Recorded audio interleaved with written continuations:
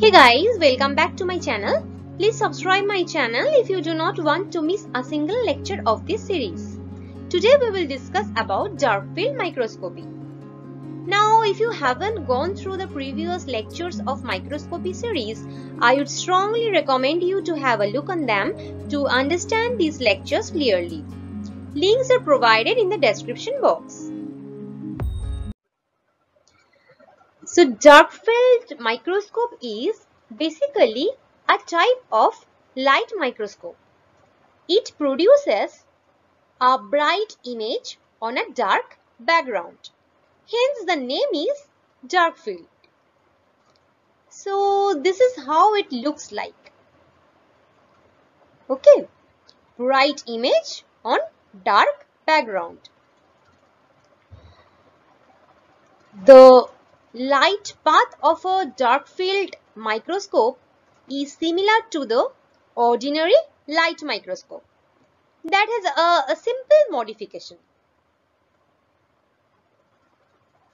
The light path consists of light source, opaque disc, condenser lens, specimen, objective lens and ocular lens.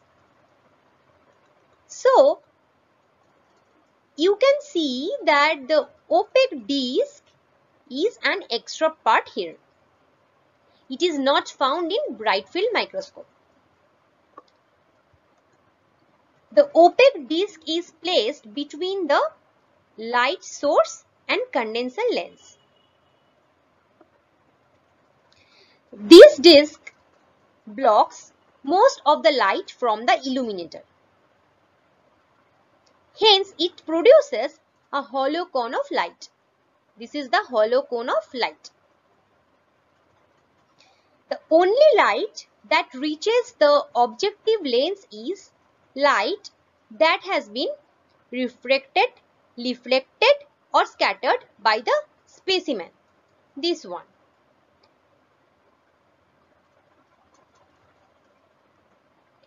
Other lights that don't hit the sample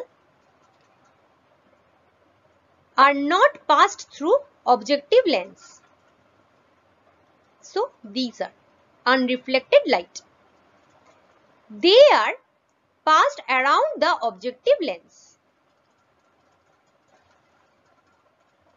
As a result, the image appears bright on a dark background.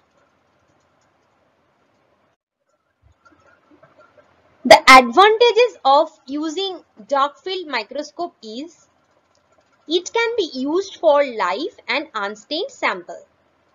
This is not possible in bright field microscope. Major limitations of using the microscope are low light levels are seen in the final image. The sample must be very strongly illuminated which can cause damage to the sample. Hope you understood the concept. If you liked my lesson, please do like, comment and share my video. Thank you.